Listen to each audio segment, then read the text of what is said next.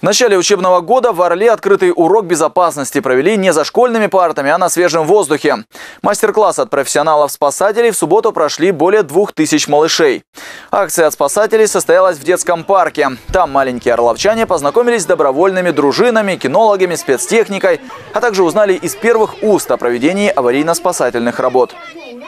Эта большая работа дает свои результаты. Да? У нас меньше, чем в других местах, дети попадают в неприятности на водах, и в, друг- и в целом они лучше защищены. Думаю, что эту работу нужно только развивать и продолжать.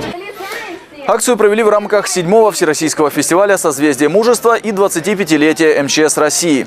Участниками акции стали дружины юных пожарных, воспитанники клуба «Юный спасатель», дошкольники, а также ученики, решившие стать кадетами. Новую форму им вручили руководители регионального управления МЧС и члены правительства области.